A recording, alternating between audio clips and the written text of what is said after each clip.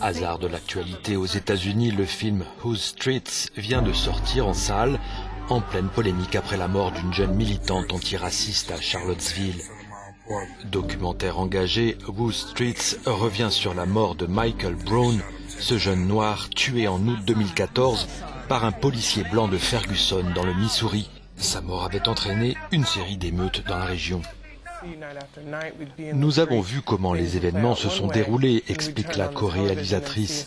Mais quand nous avons allumé la télé, nous avons vu une histoire en parfaite contradiction avec ce que nous avions vécu. Ce film est notre tentative de recadrer le récit sur ces nuits. Les réalisateurs ont suivi sept acteurs du mouvement de protestation de Ferguson, dont une infirmière et un recruteur d'une organisation civile.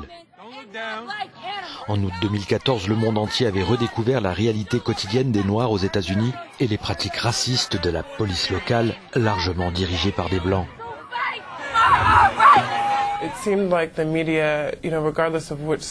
Il semble que les médias avaient pris pour argent comptant l'histoire officielle, raconte la réalisatrice.